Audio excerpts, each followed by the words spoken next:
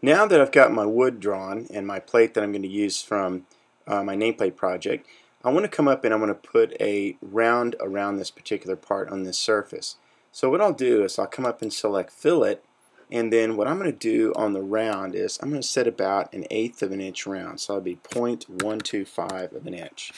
With that selected, then I'll come back and I'll select the individual edges and you can see it preview because I have my preview set on and I'll come around the top of the surface of this particular nameplate and go all the way around it and once I've got that done I'll accept it. So there it is. It's all rounded the way I want. Now let's go back to that material type. Uh, let's do a re let's do a rebuild first. Go back to edit. We'll come down here to appearance and we'll say material.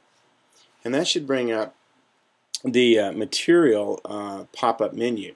Now you've got several types selected here. Poplar most often looks like beech, so I'll select beech as the wood that we're going to use. I'll apply that and I'll close it. That's more like what poplar would look like. So with that done, we're going to come back to this in a moment.